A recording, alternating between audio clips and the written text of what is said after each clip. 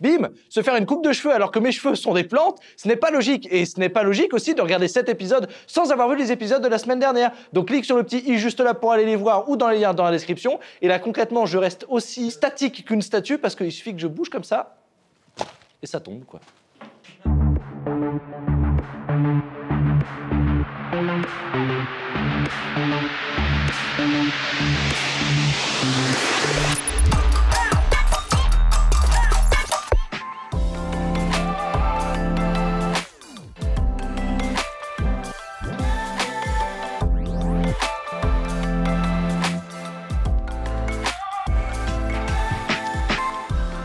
Eh ben, on a beaucoup de choses à vous dire.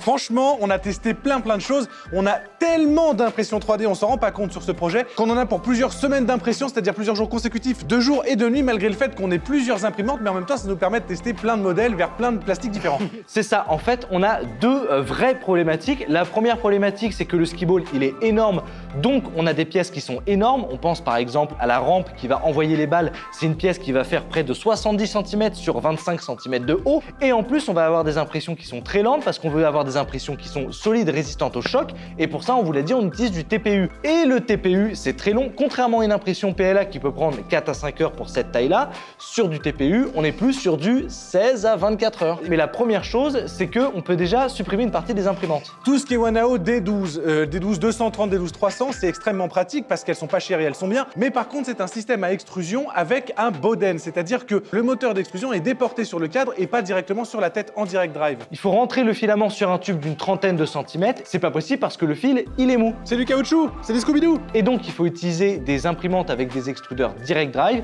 Ça veut dire que le filament est directement poussé dans le corps de chauffe. Et ça, ça n'est disponible, du moins à l'atelier, que sur la Prusa i3 MK3 ou sur les Magma 250 XT32 de chez 3D Online. Alors pour les 3D Online, eh ben, ils ont du filament qui correspond à leur profil d'impression, donc ça c'est très pratique, mais on va revenir dessus. Il est juste indiqué en tant que TPU. Et pour les Prusa, on a utilisé un TPU 98A qui est un TPU un petit peu plus rigide que celui de chez 3D Online. On s'explique. C'est TPU qu'on avait utilisé pour la coque d'iPhone.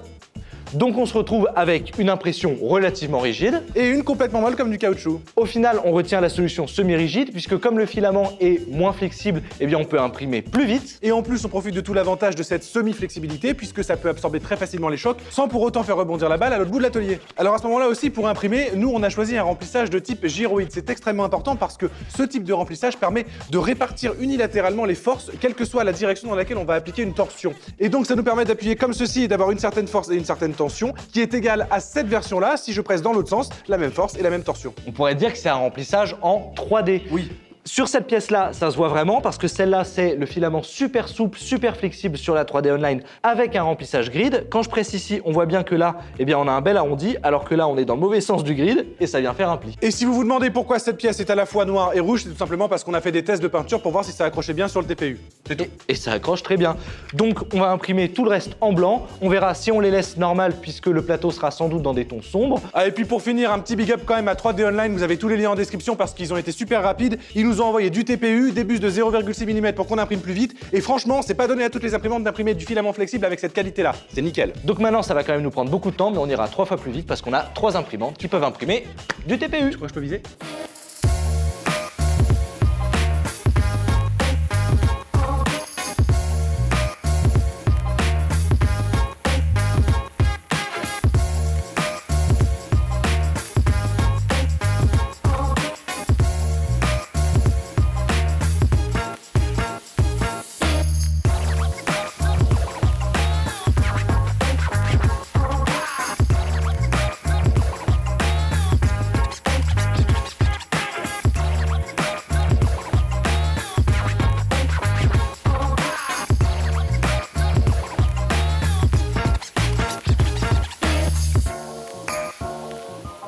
Donc là, on a l'envers de notre cible. Je me suis permis de passer un petit coup de noir après l'étape du mastic et comme euh, on l'avait prédit, ça marche super bien. On voit pas du tout l'aspect du contreplaqué. Maintenant, ce qui est cool, c'est qu'on a tout pour l'assemblage final. On a déjà les petits cercles TPU que vous avez vu en plastique souple qui vont supporter les chocs des balles. Et surtout, vous n'avez pas vu euh, ces petites pièces-là qui seront celles qui seront donc sur l'envers et qui permettront, grâce à un petit switch électronique, de compter les points. Elles sont imprimées à la Wanao D12 230, notre nouvelle imprimante pas chère favorite. Le résultat est toujours aussi génial. Le PLA c'est du PLA noir Wanao, tout ce qu'il y a de plus euh, classique, et ça marche d'enfer. Vous avez tous les liens en description si ce modèle vous intéresse. Et encore, en plus des impressions 3D, il va falloir qu'on installe un sol PVC par-dessus pour amortir le choc des balles. Et là encore, on a ce sol PVC là, donc on va vraiment pouvoir tout assembler et ensuite on n'y touchera plus jusqu'à la fin. Alors on a ça, ça. Trop d'impression 3D, trop, trop, trop. Il y a deux impressions 3D qui sont différentes. C'est celles qui sont situées tout en bas. Elles sont coupées juste ici. Comme on a la charnière, eh bien, il a fallu couper la pièce sur Fusion 360 pour que lorsqu'on vienne placer justement la pièce, ça ne puisse pas empêcher le mouvement d'inclinaison. Donc on a celle-là qui est tout en bas, une un peu moins coupée juste au-dessus, et ensuite, eh ben, c'est toutes les normales pleines qui vont là, là, là, là et là. Le résultat de plusieurs semaines d'impression, Artus. Ça a été J'en peux plus. super laborieux, et même dessiner la pièce, j'ai galéré, je l'admets. Et pourtant, voilà, il reste encore tout ça qu'on n'a pas encore installé dans ce jeu. J'en peux plus. et ça imprime encore.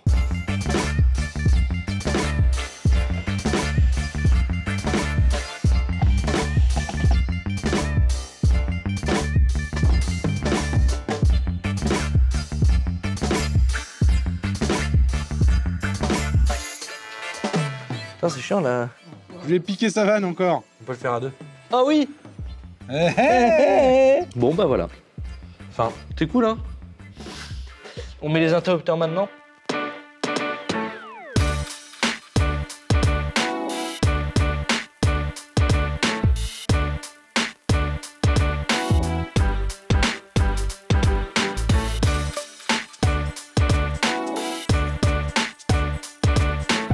Ça rend super bien, je suis super content. Tout se clipse à merveille. Merci GrabCAD encore une fois parce que du coup on avait tous les modèles des micro switch qui étaient disponibles avec leur fichier 3D à intégrer dans Fusion Ne pas 360. confondre micro switch et micro suisse. C'est vrai, micro switch c'est des buses euh, et des cordes de chauffe pour impression 3D. Quel est le problème Baptiste auquel on s'affronte maintenant? Bah, on devait poser un, un PVC et au final, bah, on peut pas le poser parce qu'il y a des trucs qui nous empêchent de le poser correctement puisqu'on doit faire des trous dedans. Donc, euh, du coup, on a tout redémonté pour pouvoir tout reposer. Donc là je vais vulgairement couper un bout de sol PVC et on verra comment on le place sur la cible et surtout comment on va faire les trous. Ça va être délicat. Oui, mais c'est jouable. Rien- à, à cœur vaillant, rien de, de- rien de poulain. Il est fatigué ou pas? Non, Tadam c'est dégueulasse. Ouais, c'est dégueu. en fait, il y avait que ça de dispo, on voulait une couleur unie, mais bon, du coup, on a pris un effet béton gris.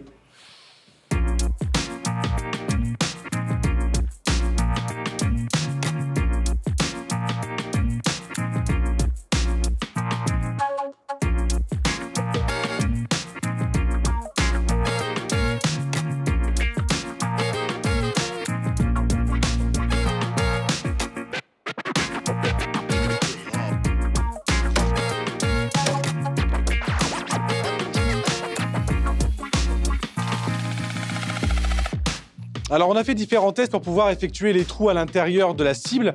On a quelque chose qui est très clean, mais en même temps, on fait des petits éclats de mousse un peu partout. Mais ça, on pourra le corriger après en mettant des choses par-dessus, puis en essayant de mastiquer le tout. Bref, c'est travaillable. C'est ça, c'est-à-dire que là, ce qui est bien avec cette technique, c'est qu'on va pouvoir marquer tous les trous et avec un gabarit, on va pouvoir tous les percer à la suite. Et si on s'en sort bien, si on arrive à bien plaquer le lino contre la planche et que ça vienne pas faire des déchirures, on aura des trous ronds avec un petit peu de matière cotonneuse qui ressort, mais ça devrait largement passer une fois qu'on peindra l'intérieur en noir.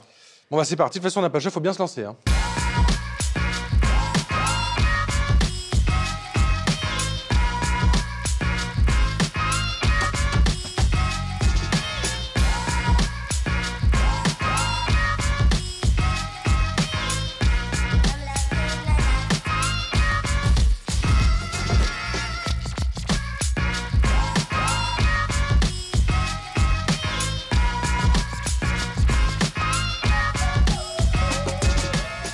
Que je le jette et que les trous correspondent tellement à ma, ma précision est légendaire. Vas-y, essaye.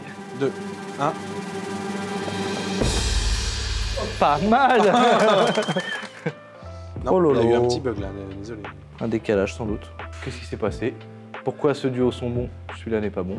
Bon, ça a super bien marché. On a testé avec un gabarit très large pour que toute la cycloche puisse rentrer et qu'ensuite ça vienne pointer le centre du cercle. Et là, on a pu y aller à fond pour faire les découpes. Mais bien que cette idée ait bien marché, au final, c'est nos cerveaux qui n'ont pas bien marché. Parce qu'on a tout fait à l'inverse par raison de praticité, vu qu'on avait euh, tout dans le bon sens pour travailler avec le feutre à l'envers et tout. Sauf que, comme notre travail n'est pas parfaitement symétrique au millimètre près, quand on a retourné le tout après avoir fait les trous, Le notre symétrie s'est inversée. C'est ça, le côté gauche s'est retrouvé à droite et le côté droite s'est retrouvé à gauche. C'est pas grave, parce qu'en définitive, ce qui compte, c'est vraiment que tous nos trous centraux soient centrés, ce qui est le cas, et c'est en haut sur ceux qui sont excentrés qu'on a un problème. Mais On a nos petits capuchons, nos, comment on appelle ça les coupoles de récupération. Voilà. les coupoles de récupération. on a nos Ouais, coupoles allez. de récupération dont on vous avait parlé, qui sont en TPU et qui sont absolument formidables, qui vont venir masquer ce vilain défaut tout proprement. En vrai, on a suffisamment de lino pour tout recommencer, mais c'est vraiment pas grave, ça se voit pas, Non. et on perdrait du temps, même je pourrais dire, bon, on n'en est pas à ça près, mais de l'argent, Oui. ça servira à rien. Non, là, c'est totalement invisible, le résultat est là, c'est impeccable. Donc du coup, on se colle à ça. On se colle à ça, avant de coller ça, Enfin. faut coller ça plutôt, tu veux dire. Ah, donc on colle ça, après on colle ça, du coup, ce qui fait qu'au total, on se colle à ça. Avec l'aide d'un petit briquet, Baptiste va brûler les bords du lino pour enlever les petits fils qui se sont formés lors de la découpe. Ensuite, on viendra masquer le contour blanc grâce à un stylo feutre noir et ça viendra correspondre parfaitement avec la base en bois. Pour coller le tout, on aurait pu utiliser une simple colle néoprène, mais on est quand même parti sur une base spéciale sol PVC.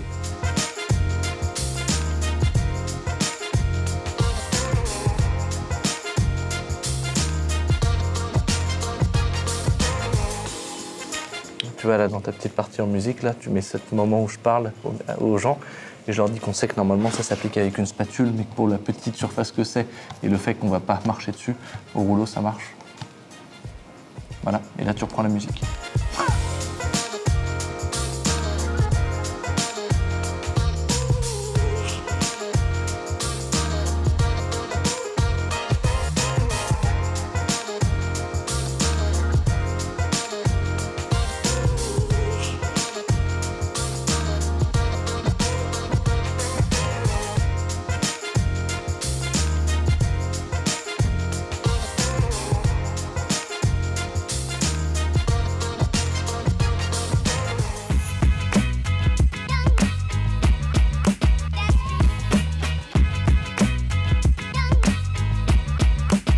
Avec toutes ces impressions 3D, on a préféré jouer la sécurité en utilisant un profil d'impression qui imprimait très bien le TPU, mais qui peut laisser parfois quelques fils d'ange. Je viens donc tous les retirer à l'aide d'un cutter ou d'un pistolet thermique.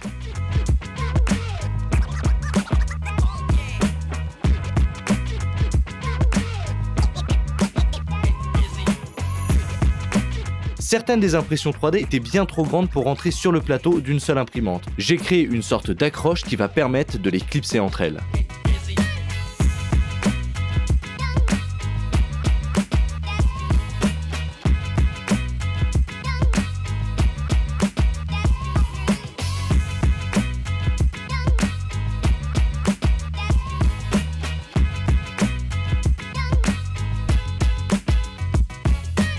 Va maintenant passer à la piste, mais ce que vous voyez pas, c'est qu'en fait, ça fait plus d'une semaine, voire presque deux semaines qu'on a peint ce beau dégradé, et il y a des choses à faire. On en est plutôt fier de ce dégradé. Il est fait donc en trois couleurs, un violet, un violet transitoire sur le bleu et du bleu. Est-ce qu'on appellerait pas ça de l'indigo, qui est un mélange de violet et de bleu? C'est vrai, ce qui fait qu'on a vraiment réussi, je pense, à avoir un beau dégradé.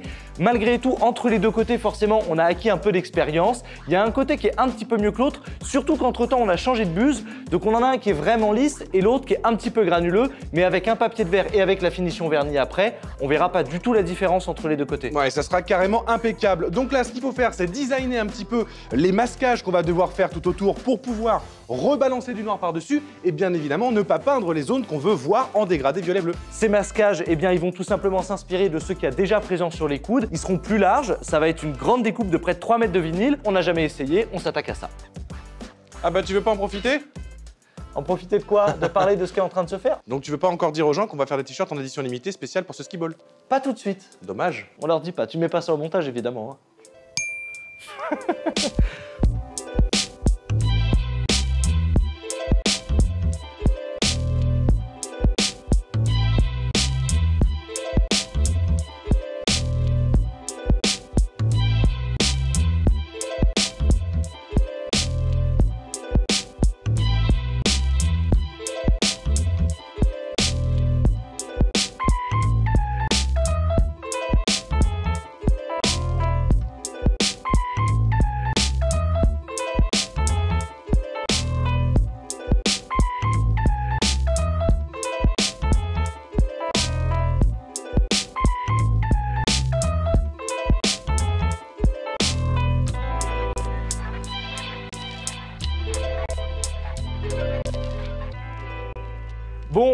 comme on va avoir 3 mètres de rouleau, on a placé la silhouette sur le chariot. Comme ça, on aura de la distance pour avoir le vinyle de chaque côté. On coupe. Bah oui, on coupe.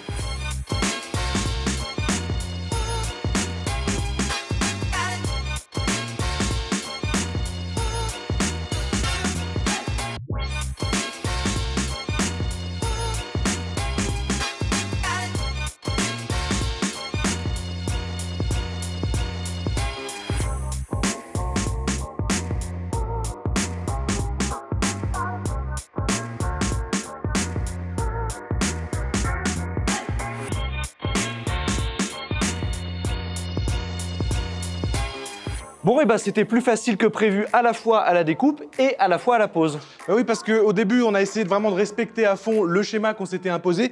Puis au final, il y a une petite liberté qui s'est euh, qui s'est imposée parce que, évidemment, les codes sont jamais absolument parfaites, les découpes sont pas au millimètre près.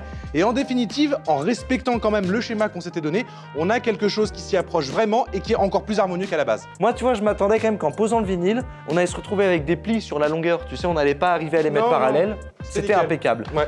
Donc maintenant, il va falloir peindre. Ouais, il va falloir peindre. Et que si on commence à peindre, on y va carrément, on peint tout en définitive. Donc, euh, bah, c'est parti pour une grande session de peinture noire, peinture euh, sur mesure que nous avons fait faire à l'époque. On en avait parlé dans les anciennes vidéos. Euh, J'ai hâte de la tester pour le coup et de mettre les petites paillettes dedans parce qu'en plus, elle est pailletée. On va mettre un petit coup d'aspirateur d'abord. il y a du boulot.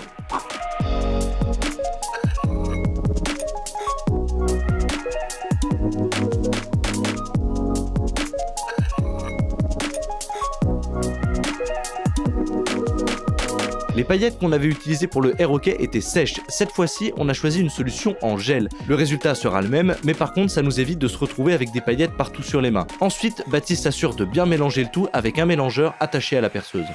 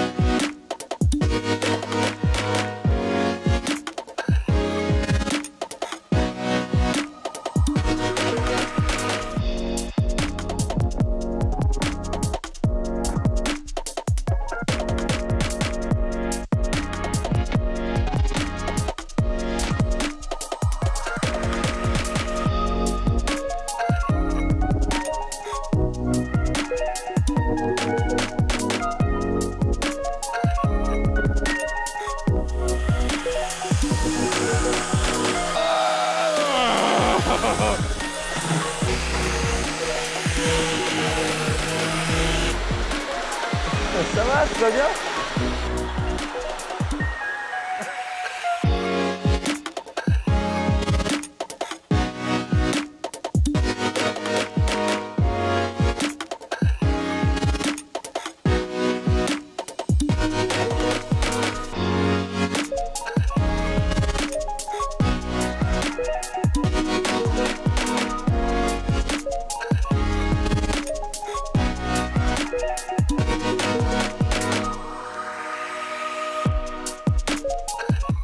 Le résultat est absolument incroyable. Les paillettes se voient à la perfection. C'est juste ce qu'il faut. C'est ni trop ni pas assez. C'est génial. C'est presque un peu mieux que sur le air hockey parce que déjà, bah, on avait l'habitude des paillettes. C'est des paillettes d'une autre marque et elles ont l'air quand même un peu plus présentes. Elles sont plus grosses. Et surtout, eh bien, la peinture de base, elle est quand même beaucoup plus foncée. Et avec les paillettes argentées, bah, il y a un vrai contraste qui se fait. C'est vraiment euh, étincelant. Voilà, D'accord exactement. Bon, euh, ce qui est sûr, c'est que sur les coudes, on avait déjà une deux couches euh, d'après. Donc, vraiment, une seule couche de la peinture pailletée va suffire. Surtout qu'on a pris en plus une peinture de qualité supérieure, une peinture premium qui a un plus grand pouvoir couvrant. Donc, on va pouvoir dès maintenant retirer les vinyles de masquage, ce qui n'est pas le cas par contre de tout le corps euh, du euh, ski ball, puisque forcément, par-dessous, on avait des couches de peinture en bombe pour avoir le dégradé bleu-violet. Et donc là, on mettra une deuxième couche euh, juste après. Ça se voit à l'œil, on voit le dégradé au travers de la peinture. Ça sera bon à la deuxième couche, mais bon là, on s'attaque à ça. Ouais.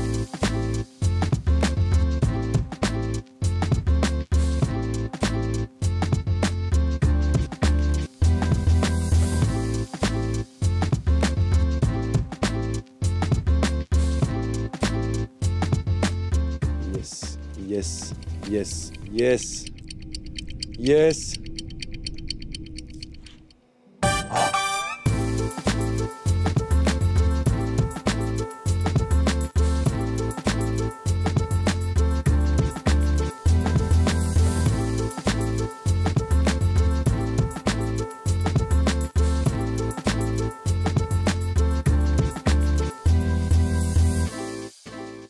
vinyle s'est retiré impeccablement bien sur les coudes. Il y a eu des petits accros, t'as fait des petites retouches, mais légères. Mais vraiment des petites retouches, vraiment maintenant ça passe impeccablement bien, je suis super content du résultat. Totalement invisible à l'œil nu, bravo. On a passé la deuxième couche sur la structure. Et on en a profité pour mettre d'ailleurs aussi la première couche sur la partie un peu bande d'arcade. Maintenant, on va en profiter tout de suite pour retirer les vinyles. Oui, parce que la couche en dessous a un petit peu ramolli, celle du dessus n'est pas encore totalement sèche, donc c'est le moment idéal pour pouvoir retirer les masquages sans avoir d'éclat de peinture. Vous feriez une grande erreur à retirer le vinyle une fois sec parce que à ce moment-là, vous pouvez vraiment créer des éclats de peinture. Alors que là, ça va être beaucoup plus facile. C'est le moment, c'est le juste milieu. D'ailleurs, faut qu'on y aille maintenant parce que ça sèche vite. Ça va être facile parce que c'est flexible. C'est parti.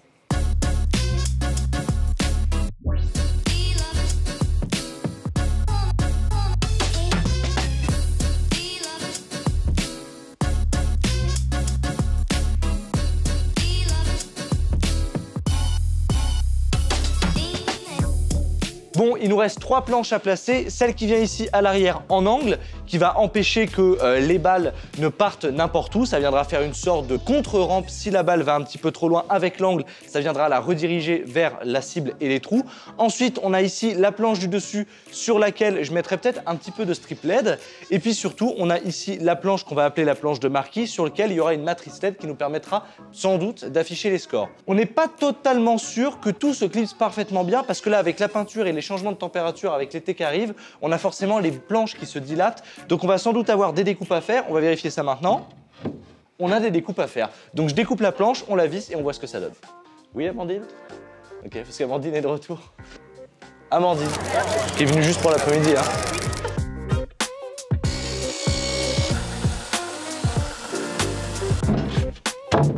Ça passe nickel. Hein.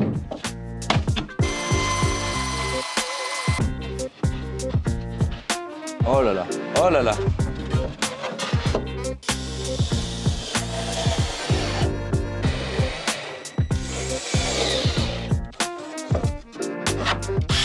Je vais avoir besoin de toi. Ok, tu vas me dire.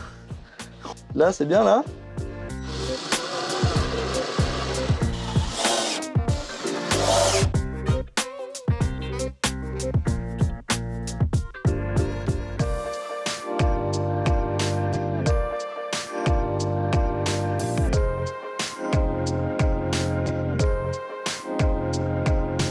T'as pas vu l'épisode de la semaine dernière Non, mais ce qui est marrant, c'est que ces, ces fins-là, elles seront peut-être diffusées à la, à la fin de la série. Alors que là, on est tourné au début de la série. Là, juste derrière cette caméra, il y a un truc en bois dégueulasse et qui est certainement moins beau que ce que, ce que les gens ont vu là, qui était incroyable, j'en suis certain. Je suis même pas sûr que ça soit une vraie fin. Tu vois, je pense que Jim va la plus se mettre dans le bêtisier. c'est possible, on verra bien.